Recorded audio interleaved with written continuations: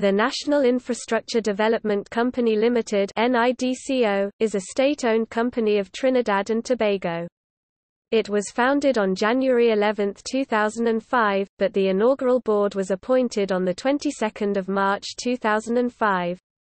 It is carrying out infrastructure projects that form Vision 2020, which is a plan created by the government to achieve first world status by the year 2020.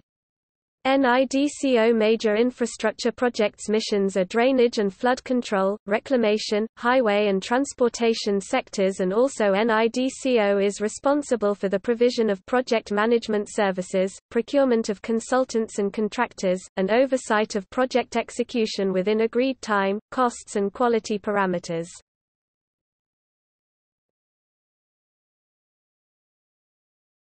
Topic NIDCO projects. Water Taxis service it's owned by NIDCO San Fernando to Point Fortin Highway Proposed highway. Trinidad Rapid Railway in September 2010, the project was scrapped by the People's Partnership government. Aranguez flyover